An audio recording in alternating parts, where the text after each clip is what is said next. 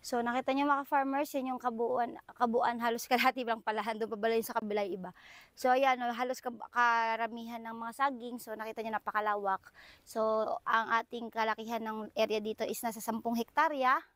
At lahat po yan ay sana mapuno natin lalo pa ng saging. Napakadami nito. 10 to 15,000 estimated um, bananas ang nakatanim po dito. Hi mga farmers! Welcome back to my channel, Tislanica's Farm.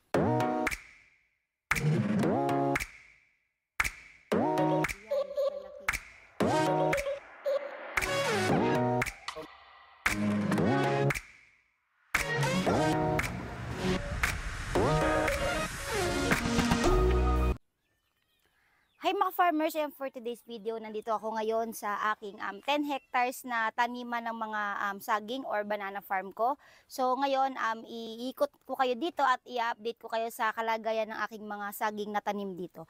At um, syempre, papakita ko sa inyo rin yung mga um, tauhan ko dito na nakastay in na. So ngayon kasi nilagyan ko na dito ng stay in ng mga tao at may mga alaga silang mga um, native pigs bawat ang bahay dito. So sa mga um, nagpo-farm ng mga saging or nagbabanana farm, so tamang-tama at panoorin nyo itong um, video ko na ito dahil marami kayo matututunan dito sa mga experience ko na pinagdaanan sa pagtatanim ng mga saging. Okay, ito na agad.